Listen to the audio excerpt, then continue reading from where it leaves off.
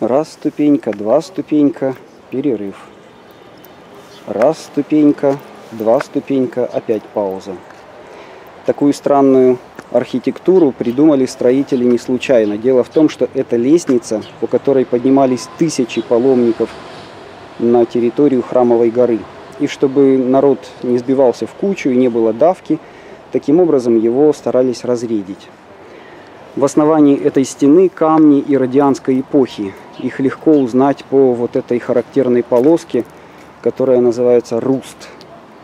Камень в производстве был в результате дороже, но это было сигналом, что это не просто стена. Этот камень использовался только для возведения каких-то особых сооружений, каковым и являлся храм на горе Мория. Когда-то ступени вели к воротам, они находились вот тут. Сегодня от них остался только фрагмент орнамента над аркой и воспоминания. Назывались эти ворота ворота Хульды.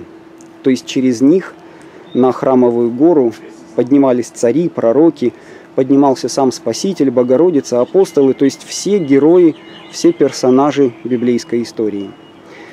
Сегодня тут непривычно тихо, поскольку это территория музея, это знаменитый центр Дэвидсона. И вид на город отсюда необычный.